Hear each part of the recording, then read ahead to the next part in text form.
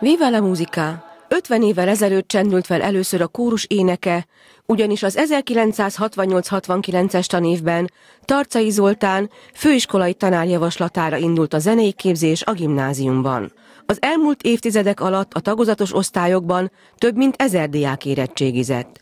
Sokan közülük énektanárok, énekesek, karvezetők lettek, vagy ha nem a zenei pályát választották, akkor is a mindennapjaik részévé vált a muzsika. A kórus és az itt tanuló diákok számos elismerést szereztek itthon és külföldön, és ma is gyakran hallhatja őket a közönség. Az est részvevőit köszöntötte Kovács Ferenc polgármester, aki elismerően szólt a gimnáziumban folyó munkáról. Nem csak a, a alaptevékenység, ha lehet ezt így mondani, az oktatás nevelés folyik nagyon magas színvonalon, és az utóbbi években talán még ez is emelkedett, hanem a sporttól az énekig, mint ahogy ezt láthatjuk, egy nagyon színvonalas énekkar ünnepli az 50 éves jubileumát, és természetesen ez nem marad az iskola falai között, láthattuk, és nagyon örülünk, hogy láthatjuk számtalan városi nagy rendezvényen a vasváris diákokat, tanárokat, énekkart, és azt gondolom, hogy ez egy példaértékű.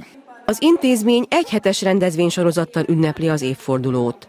Egy fél évvel ezelőtt elkezdődött már az előkészület, hiszen a tagozat volt tanítványait, tanárait Mikó Gyöngyi kolléganőm és Puskás Bernadett kolléganőm felkutatták, és azt szerettük volna, ha minél többen részt vesztek ezen a mai rendezvényen, akár kórussal, akár énekesként, akár pedig hallgatóként, és beszélnének, vagy megnyilvánulnának arról, hogy hogyan is és mint is formálta az életüket az itt töltött négy esztendő az énekzene tagozaton.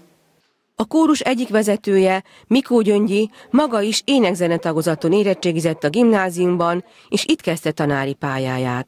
Számomra ez valóban egy örömünnep lesz, hisz már most látom, hogy a sok-sok kedves tanítványom, volt kollégám és jelenlegi kollégám is mekkora lelkesedéssel érkezett erre a koncertre, és várják, hogy kiket ismernek meg, ki az, aki többet vagy kevesebbet változott ez alatt az idő alatt, és most ismételten a koncerten átélhetjük azokat az élményeket, amelyeket valaha diákként is átéltünk.